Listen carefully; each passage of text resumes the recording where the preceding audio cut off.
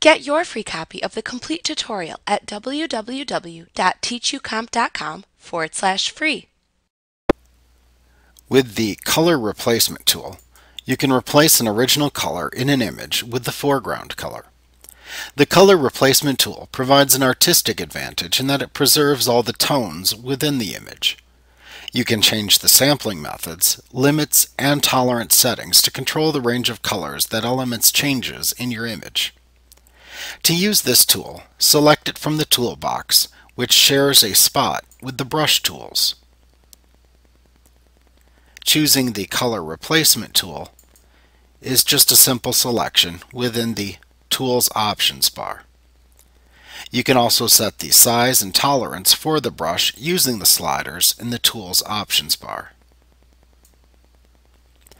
The tolerance setting is used to set how similar the pixels you select should be to the other colors in the image. A lower percentage changes colors very similar to the ones you select, and a higher percentage changes a broader range of colors. Next select a blending mode using the drop-down that appears below tolerance. Color, hue, similar in colors, saturation, used to convert to grayscale, or luminosity. Next, select your limits to either discontiguous, which will replace the sampled color wherever it appears under your pointer, or contiguous, which replaces colors that are adjacent to the color under the pointer. Then choose the method of sampling by clicking the corresponding button continuous to sample colors continuously as you click and drag the tool, once to sample colors only once when you initially start to drag, or background swatch, which replaces an area containing the background color.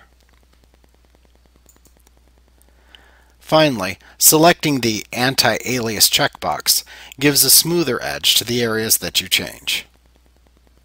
Once you've set the options that you want, Select the color that you want to change as your foreground color, and then just click and drag over your image to replace the color.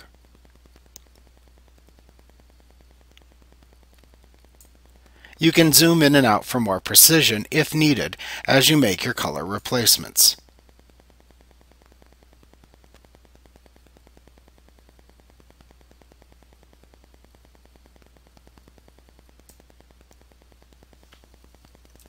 Like what you see? Pick up your free copy of the complete tutorial at www.teachucomp.com forward slash free.